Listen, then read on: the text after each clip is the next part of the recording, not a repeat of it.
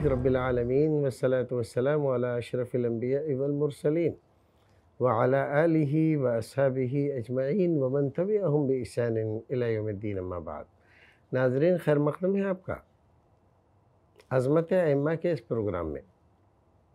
ناظرین، آپ کو یاد ہوگا، پچھلے ایپیسوڈ میں ہم نے آپ کو حضرت امام ترمزی رحمۃ اللہ علیہ کی زندگی کے تعلق سے کچھ باتیں بتلائی تھیں۔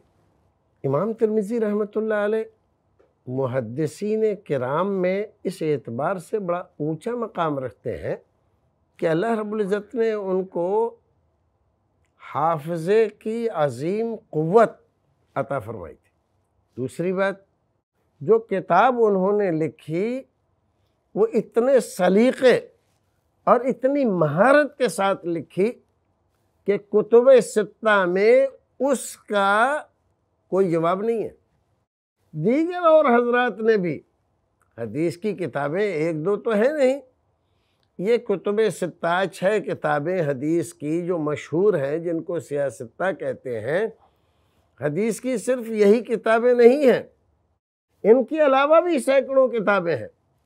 لیکن امام ترمزی رحمۃ اللہ علیہ نے جس مہارت سے اور جس امتیاز کے ساتھ اپنی کتاب سنن ترمزی یا جامع ترمزی کو تعلیف کیا، وہ تمام حدیث کی کتابوں سے ممتاز کام ہے۔ حضرت امام ترمیزی رحمۃ اللہ علیہ کے جو خصوصی علوم تھے، وہ تھا علم حدیث، علم تفسیر، علل رجال و حدیث اور فقہ اور فتح اللہ رب العزت نے ان علوم میں آپ کو مہارت تامہ عطا فرمائی تھی۔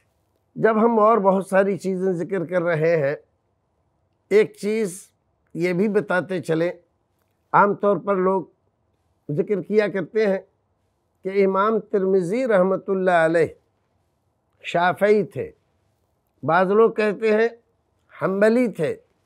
لیکن اگر ایک نظر سرسری بھی اگر ہم ترمزی پہ ڈالیں، جامع ترمزی پہ، سنن ترمزی پہ ڈالیں، سرسری نظر، تو جو لوگ آپ کو شافعی یا حنبلی ثابت کرتے ہیں، آپ کو یقین کامل ہو جائے گا کہ یہ لوگ محض غلط فہمی میں مبتلا ہے نہ تو امام ترمزی شافعی تھے اور نہ حنبلی تھے۔ وہ دیگر محدثین کی طرح سے مسلک محدثین پر کار بند تھے اور تقلید کو اسلام میں اہل علم کے لیے درست نہیں مانتے تھے۔ امام ترمیزی رحمۃ اللہ علیہ نے بعض ان مسائل میں جو شوافے کے امتیازی مسائل کہلاتے ہیں۔ لیکن دلیل کے اعتبار سے امام ترمیزی رحمۃ اللہ علیہ کو لگا کہ یہ مسئلہ کمزور ہے تو ترمیزی شریف میں اس کی کمزوری ظاہر کی اور اس کو راجے نہیں، مرجو قرار دیا۔ اسی طرح سے بعض ایسے مسائل جو فقہ حنبلی کے امتیازی مسائل ہیں۔ لیکن جب دلائل کی بنیاد پر امام ترمزی رحمۃ اللہ علیہ کو لگا کہ اس میں کوئی جان نہیں ہے، تو آپ نے برملا اس بات کا اظہار کیا کہ دلیل کمزور ہے۔ اور ظاہر ہے کہ یہ منصب، یہ طریقہ مقلدین کا نہیں ہے۔ مقلدین تو ہر قیمت پر اپنے امام کے موقف کے مطابق یہاں سے وہاں سے کھینچ تان کر کے اپنے امام کے موقف کو صحیح ثابت کرنے کی کوشش کرتے ہیں۔ چاہے صحیح حدیث کو ضعیف قرار دینا پڑے اور چاہے ضعیف باتوں کو قوی قرار دینا پڑے۔ کچھ بھی دینا پڑے، ہر حال میں اپنے امام کے موقف کو صحیح ثابت کریں گے۔ اور امام ترمیزی رحمۃ اللہ علیہ کا یہ طریقہ نہیں ہے۔ بلکہ بعض جگہ جب وہ مذاہب علماء کا ذکر کرتے ہیں کہ علماء کی ایک جماعت نے ایسا کہا اور ان میں فلاں فلاں فلاں فلاں ہے پھر ذکر کرتے ہیں اور دوسری جماعت علماء کی ایسا کہتی ہے اور اس کے قائل فلاں فلاں فلاں ہیں۔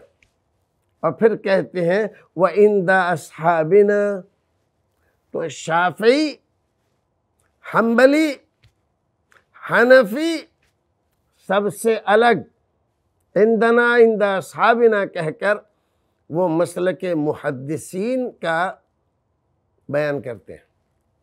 اور اس بات کو ترمیزی شریف کے شارحوں میں سے تحفت الاحوزی کے مصنف علامہ عبد الرحمن مبارک پوری رحمۃ اللہ علیہ نے اس پر خصوصی توجہ دی ہے۔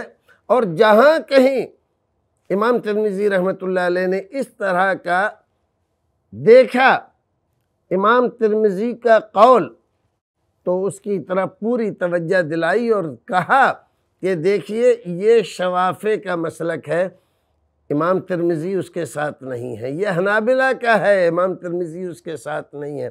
اور یہ محدثین کا ہے۔ اور امام ترمیزی اسی کی تائید کر رہے ہیں اور اسی کو اندنا و اندہ صابنہ کہہ رہے ہیں۔ اس سے یہ بات ثابت ہوتی ہے کہ جو حضرات اصحاب کتب ستہ کو زبردستی شافعی مقلد یا حنبلی مقلد ثابت کرنے کی کوشش کرتے ہیں، وہ غلط بات کہتے ہیں اور حقیقت سے اس کا کوئی تعلق نہیں ہے۔ امام ترمیزی رحمۃ اللہ علیہ کی وفات دو سو اناسی میں ہوئی، دو سو اناسی ہجری میں۔ گویا کہ یہ صدی، اس کا اکثر حصہ تیسری صدی ہجری کا امام ترمیزی رحمۃ اللہ علیہ کو اللہ رب العزت نے عطا فرمایا۔ اور ان کو اس صدی میں خوب اپنے جوہر دکھانے اور علم حدیث کی خدمت کرنے کا موقع ملا۔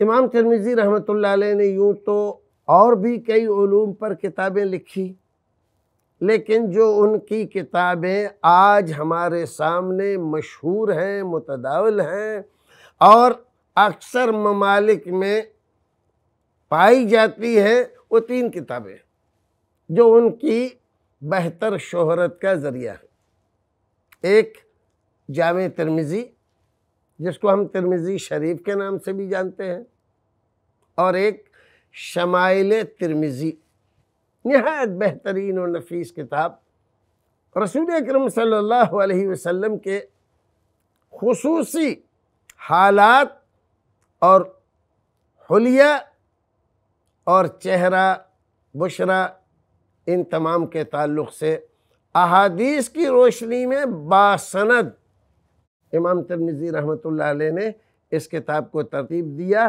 اس طرح کی کوئی دوسری کتاب اس کے مقابل نہیں ہے۔ تیسری کتاب جو امام ترمیزی رحمۃ اللہ علیہ کی بہت مشہور ہے، وہ ہے کتاب العلل، جو نہایت ہی دقیق فن ہے۔ آسان نہیں ہے۔ اور جب تک آدمی حدیث اور علوم حدیث میں مہارت تامہ حاصل نہ کیے ہوئے ہو۔ اور رجال پر اور ان کے احوال پر اس کی گہری نظر نہ ہو۔ وہ حدیث کی علتوں کے سلسلے میں کچھ نہیں کہہ سکتا۔ امام ترمیزی رحمۃ اللہ علیہ نے کتاب العلل لکھ کر اس بات کو ثابت کیا کہ اللہ رب العزت نے ان کو حدیث اور علوم حدیث پر مہارت تامہ عطا فرمائی ہے۔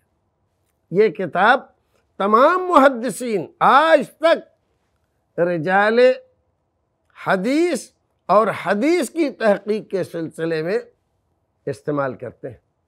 ناظرین، امام ترمیزی رحمۃ اللہ علیہ کے مسلک اور ان کی تین بڑی یادگاروں کے بعد ہم چاہتے ہیں کہ ان کی کتاب جامع ترمیزی کے سلسلے میں کچھ اس کی امتیازی خصوصیات آپ کو بتائیں۔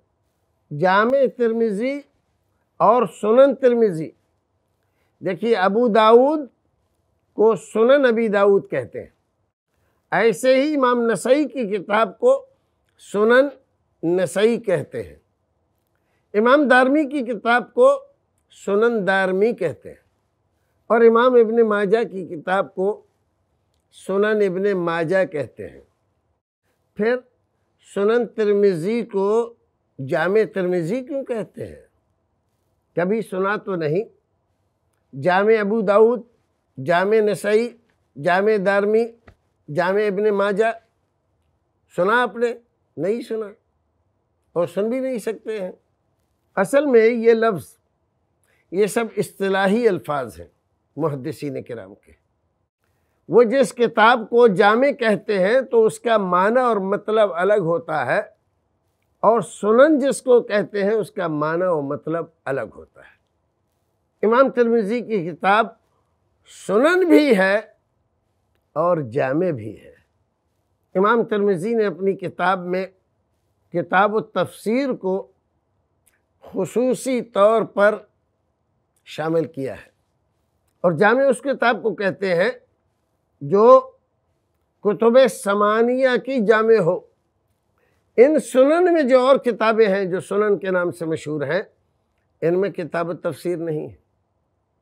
اور بھی ایک دو اور کتابیں ہیں جو اس میں نہیں پائی جاتی۔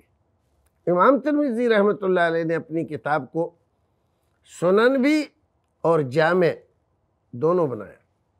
اس اعتبار سے وہ ان کتابوں کے مقابلے میں زیادہ جامع مفید، بہتر اور کارآمد ہے۔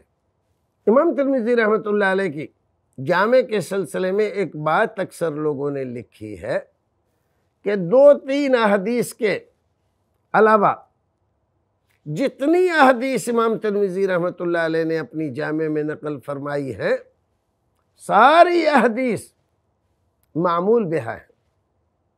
مطلب قابل عمل ہی نہیں، بلکہ معمول بہا ہے یعنی اس پر لوگ عمل کرتے ہیں۔ بالفعل۔ اور یہ بہت بڑی بات ہے۔ دیگر کتابوں میں ایسی کئی ساری احادیث ہیں جن پر کوئی عمل نہیں کرتا۔ لیکن امام ترمیزی رحمۃ اللہ علیہ کی جامع میں دو سے تین تک احادیث ہیں جس پر عمل نہیں ہوتا، باقی سب معمول بہا ہیں امام ترمیزی کی یہ خصوصیت اور ترمیزی شریف کی، آپ ابو داود اٹھا لیجیے، نسائی اٹھا لیجیے، دارمی اور ابن ماجہ اٹھا لیجیے۔ آپ دیکھیں گے کہ یہ حضرات، امام ابو داود امام نسائی، امام دارمی، امام ابن ماجہ، حدیث ذکر کرتے ہیں۔ اور حدیث کی سند ذکر کرتے ہیں اور پھر خاموش ہو جاتے ہیں۔ لیکن امام ترمیزی رحمۃ اللہ علیہ حدیث ذکر کرتے ہیں اور پھر اس کے بعد اس کی تخریج بھی کرتے ہیں۔ فرمائیں گے، اور یہ حدیث جو ہم نے ذکر کی، حضرت ابو حریرہ سے مثلا، یہ ابن عمر، عبداللہ ابن عمر بن العاص، جابر ابن عبداللہ ابو سعید خدری اور فلاں فلاں رسول اکرم کے صحابہ سے بھی مروی ہے۔ اسی کے ساتھ ذکر کریں گے کہ اس معنی میں یعنی جو حدیث انہوں نے ذکر کی، اس سے جو فقی مسئلہ نکل رہا ہے، یہ فلاں فلاں احادیث جو فلاں فلاں صحابی نے روایت کی ہے، ان سے بھی یہ مسئلہ نکلتا ہے۔ وفی الباب ان ابی حریرہ ان ابن عباس ان عبداللہ ابن عمر، یہ جو کہتے ہیں، یہ خصوصیت ہے امام ترمیزی رحمۃ اللہ علیہ کی۔ تو یہ بتلا دیتے ہیں کہ اس مسئلے میں صرف یہی ایک حدیث نہیں ہے۔ فلاں فلاں صحابہ کرام سے بھی احادیث مروی ہے ابو داود میں ایسا نہیں، نسائی میں ایسا نہیں۔ دیگر سنن میں بھی ایسا نہیں۔ یہ خصوصیت کس کی ہے؟ امام ترمزی رحمۃ اللہ علیہ کی۔ اور پھر امام ترمزی رحمۃ اللہ علیہ جو سند ذکر کرتے ہیں، اس میں اگر کوئی راوی متکلم فی ہے، تو اس کے اوپر کلام جرح و تعدیل کے اعتبار سے نقل فرماتے ہیں کہ فلاں نے اس کو یہ کہا، فلاں نے یہ کہا، فلاں نے یہ کہا، یہ قوی نہیں ہے یا قوی ہے، اور بہت دقت کے ساتھ۔ اسی کے ساتھ جامع ترمیزی میں امام ترمیزی رحمۃ اللہ علیہ مذاہب فقہ کو جس انداز سے بیان فرماتے ہیں، باقی کسی کتاب کا مصنف اس انداز سے بیان نہیں کرتا۔ یہ امتیاز بھی امام ترمیزی رحمۃ اللہ علیہ کو حاصل ہے اور جامع ترمیزی کی یہ بہت بڑی خصوصیت ہے۔ کسی مسئلے میں آپ کو دیگر ائمہ کرام کی رائے، ان کا رجحان، ان کا مسلک معلوم کرنا ہو اور کوئی کتاب آپ کے پاس نہ ہو تو ترمزی شریف کو کھولیے، حدیث نکالیے اور جان لیجیے کہ امام حنیفہ رحمۃ اللہ علیہ، امام شافی رحمۃ اللہ علیہ اور محدثین کرام کا اس بارے میں کیا موقف ہے اور دلیل کیا ہے ایک اور خصوصیت ہر حدیث کے بارے میں امام ترمزی رحمۃ اللہ علیہ حکم لگاتے ہیں حدیث پر حاضہ حدیث صحیح حاضہ حدیث حسن صحیح اور بعض حسن غریب من حاض الوجہ۔ حدیث پر حکم لگانے کا جو التزام امام ترمزی رحمۃ اللہ علیہ نے فرمایا ہے، یہ انہی کی خصوصیت ہے۔ پھر روات کے نام، کہیں کنیت ہے تو نام نہیں ہے، نام ہے تو کنیت کا پتہ نہیں ہے۔ وہ تحقیق نہیں ہو پا رہی کہ کون آدمی ہے؟ امام ترمیزی رحمۃ اللہ علیہ ایسے تمام ناموں کو اچھی طرح سے واضح کر دیتے ہیں۔ اسی لیے شاہ ولی اللہ محدث علیہ رحمۃ اللہ علیہ نے فرمایا کہ بخاری، مسلم، ابو داود تینوں کے اندر جو خصوصیات پائی جاتی ہیں امام ترمیزی رحمۃ اللہ علیہ نے اپنی جامع میں ان ساری خصوصیات کو جمع کر لیا ہے۔ عراق، خراسان، حجاز، تمام جگہ کے عالم اسلام کے علماء اور محدثین نے جامع ترمیزی کو قبول کیا اور اس کی بڑی تعریف کی۔ بعض لوگوں نے تو یہاں تک کہا، من کان فی بیتہی هذا الكتاب فکأنما فی بیتہی نبی یتکلم جس آدمی کے گھر میں یہ کتاب ہو یعنی جامع ترمیزی ہو، تو یوں سمجھو کہ اس کے گھر میں نبی بیٹھے ہوئے ہیں اور بول رہے ہیں۔ اس کی خصوصیات ہی کی وجہ سے علماء اسلام میں ترمیزی شریف کی شروحات جتنی پائی جاتی ہیں، کسی اور دوسری کتاب کی نہیں پائی جاتی۔ اور ان شارحین نے حق تو یہ ہے کہ شرح کرنے میں اپنے پورے کمال کو ظاہر فرما دیا ہے۔ ابن العربی کی عارضت اللہ احوزی ابن سید الناس کی مشہور کتاب اور زین الدین عراقی ابن الملقن ان حضرات کی شروحات، پھر قوت المقتضی سیوتی کی، سندھی کی، بلقینی کی ہدایت اللوزعی بنکات الترمزی یہ شمس الحق صاحب کی، اور الکوکب الدری، العرف الشزی التحفت الاحوزی یہ مشہور شرحیں ہیں ترمیزی شریف کی۔ اللہ رب العزت ہمیں اور آپ کو نیک عمل کرنے کی توفیق عطا فرمائے، اور اللہ رب العزت ہماری طرف سے اور تمام مسلمانوں کی طرف سے امام ترمیزی رحمۃ اللہ علیہ کو جزائے خیر عطا فرمائے کہ انہوں نے حدیث رسول کی، جو خدمت کی اور ہمارے لیے جو راستہ آسان کیا، پروردگار اس کا بہتر سے بہتر اور اچھے سے اچھا بدلہ عطا فرمائے۔ پھر ملتے ہیں ناظرین اگلے ایپیسوڈ میں۔ تب تک کے لیے دیجیے اجازت، رکھیے اپنا خیال۔ السلام علیکم ورحمۃ اللہ وبرکاتہ۔ ایسے ہی اور ویڈیوز بنانے میں ہماری مدد کریں۔